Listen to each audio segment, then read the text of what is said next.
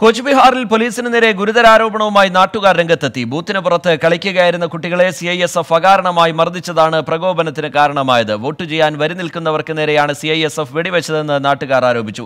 അക്രമം നടന്ന ബൂത്തിലെ പോളിംഗ് സസ്പെൻഡ് ചെയ്തു. റീപോളിംഗ് തീയതി തെരഞ്ഞെടുപ്പ് കമ്മീഷൻ പിന്നീട് തീരുമാനിക്കും. ദിനഹട്ടയിൽ ബി ജെ പി തൃണമൂൽ സംഘർഷത്തിൽ ഒരു ബി ജെ പി പ്രവർത്തകൻ കൊല്ലപ്പെട്ടു. ബി ജെ പി നേതാവ് ലോക്കറ്റ് ചാറ്റർജിയുടെ കാർ ഹൂഗ്ലിയിൽ വെച്ച് ആക്രമിക്കപ്പെട്ടു.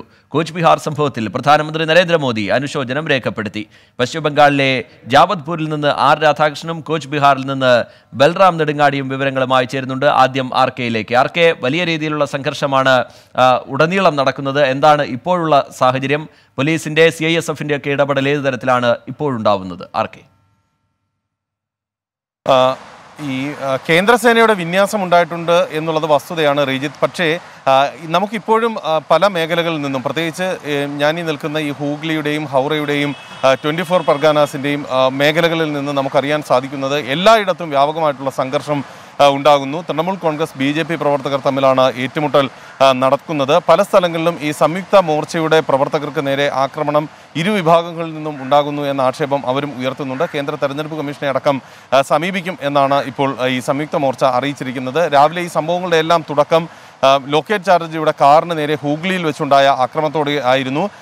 രാവിലെ ഒറ്റപ്പെട്ട ചില അക്രമ സംഭവങ്ങൾ ഉണ്ടായിരുന്നെങ്കിലും അത് ഈ വിധത്തിലേക്ക് വ്യാപിക്കുന്ന ഒരു സാഹചര്യം ഉണ്ടായിരുന്നില്ല. ഈ ലോക്കേറ്റ് ചാറ്റർജിയുടെ കാറ് ആക്രമിക്കപ്പെട്ടതോടുകൂടി തന്നെ ഹൂഗ്ലിയിലെയും ഹൗറയിലെയും ഈ ട്വന്റി ഫോർ പർഗാനാസിന്റെയും വിവിധ മേഖലകളിലേക്ക് ഈ സംഘർഷം കാട്ടുതി പോലെ പെട്ടെന്ന് പടരുന്ന ഒരു സാഹചര്യമായിരുന്നു ഉണ്ടായിരുന്നത്. ഇപ്പോഴും പല മേഖലകളിലും ഈ സംഘർഷാവസ്ഥ നിലനിൽക്കുകയാണ്. ബൂത്തിലേക്ക് ആളുകളെ അയക്കാത്ത മേഖലകൾ നിരവധിയായിട്ടുണ്ട്.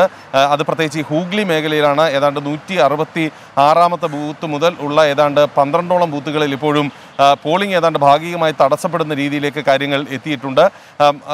എന്നാൽ രാവിലെ മുതൽ തന്നെ നമുക്ക് കാണാൻ സാധിക്കുന്നത് പോളിംഗ് ആ, വേണ്ടിയിട്ട് വളരെ വലിയ വോട്ടർമാരുടെ ഒരു നീണ്ട കുര നിര എല്ലാ ബൂത്തുകൾക്ക് മുന്നിലും എത്തുന്ന ഒരു സാഹചര്യം നമുക്ക് കാണാൻ സാധിച്ചിരുന്നു. അത് ആ, വിധത്തിൽ തന്നെ ഇപ്പോഴും തുടരുന്നു എന്നുള്ളതാണ്. അതുകൊണ്ട് തന്നെ പോളിംഗ് ശതമാനത്തിന്റെ കാര്യത്തിൽ ഒരു കുറവുണ്ടാകില്ല. പക്ഷേ ഇതിൽ ഏറ്റവും പ്രധാനപ്പെട്ടത് ഈ നാലാം ഘട്ട തെരഞ്ഞെടുപ്പിന് ശേഷം കാര്യങ്ങൾ കൂടുതൽ വാശിയേറിയ രീതിയിലേക്ക് പോവുകയാണ്.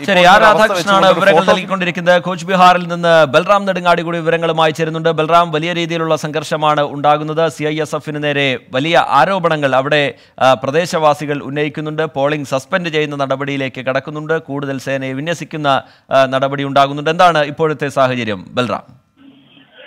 റിജിത്ത് കൂച്ച് ബിഹാറിൽ നടന്നത് ഇത്തവണ ബംഗാളിലെ തിരഞ്ഞെടുപ്പുകളിൽ നടന്നതിൽ ഏറ്റവും വലിയ ഒരു സംഘർഷം തന്നെയാണ്. ഇന്ന് രാവിലെ ഏ, വെടിവെപ്പ് ഉണ്ടാകുകയും നാല് പേർ കൊല്ലപ്പെടുകയും ചെയ്തിരിക്കുന്നത്.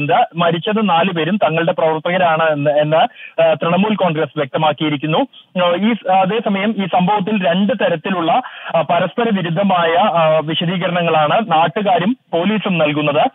നാട്ടുകാർ സംഘടിച്ച് ബൂത്ത് പോളിംഗ് ഉദ്യോഗസ്ഥരെയും സുരക്ഷാ ഉദ്യോഗസ്ഥരെയും ആക്രമിക്കാൻ വന്നു എന്നും ആ ഘട്ടത്തിൽ വെടിയുതിർത്തു എന്നുമാണ് പോലീസും തിരഞ്ഞെടുപ്പ് നിരീക്ഷകനും ഇത് സംബന്ധിച്ച് നൽകുന്ന വിശദീകരണം. എന്നാൽ ആ, പോലീസ് തന്നെയാണ് പ്രകോപനം ഉണ്ടാക്കിയത് എന്നും വോട്ട് ചെയ്യാനായി വരി നിൽക്കുകയായിരുന്നവർക്ക് നേരെയാണ് വെടിവെപ്പ് ഉണ്ടായത് എന്നും ചിതറയോടിയ ആളുകളെ പിന്നിൽ നിന്ന് വെടിവെക്കുകയായിരുന്നു എന്നുമുള്ള ഗുരുതര ആരോപണമാണ് നാട്ടുകാർ ഉന്നയിക്കുന്നത്. എന്തായാലും നിലവിൽ സ്ഥിതിഗതികൾ ശാന്തമാണ് ഈ പ്രദേശത്ത്. ശരി നാലാം ഘട്ട വോട്ടെടുപ്പിന്റെ പശ്ചിമ ബംഗാളിൽ വ്യാപക സംഘർഷം. ബൽറാം നെടുങ്ങാടിയും ആർ രാധാകൃഷ്ണനുമാണ് വിവരങ്ങൾ നൽകിയത്.